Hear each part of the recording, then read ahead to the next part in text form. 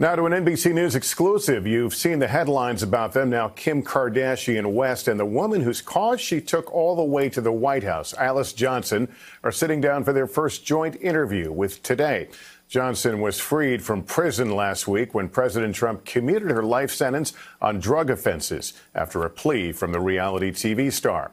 Johnson and Kardashian tell our Hoda Kotb about the moment they got the big news. You are about to do something that's going to change this woman's life. You've been in that prison for 21 and a half years, and someone pages you and says, You have a phone call. Mm-hmm. Yes.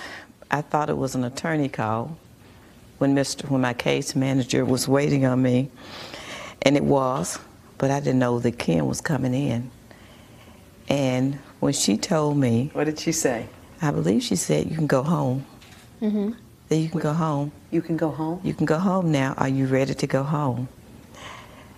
When she said that, I went into full fledged Pentecostal holy dance. I started screaming and jumping. People were listening. I'm telling you, I was dancing, I was dancing, I was jumping, I was screaming, I was doing everything. Kim, could, what did it sound like from your end? I just, well, at first I, I thought she knew because the news was starting to break and we had to get her on the phone. So she was kind of quiet on the phone. And I know her personality enough to know that she would have been screaming or, or yeah. something. And, um, and I said, Wait, you don't know? And she was like, No, what? And I was like, You're going home.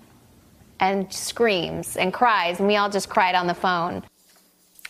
And there will be much more of Hoda's exclusive interview tomorrow morning on Today. Hey, NBC News fans, thanks for checking out our YouTube channel. Subscribe by clicking on that button down here and click on any of the videos over here to watch the latest interviews, show highlights, and digital exclusives.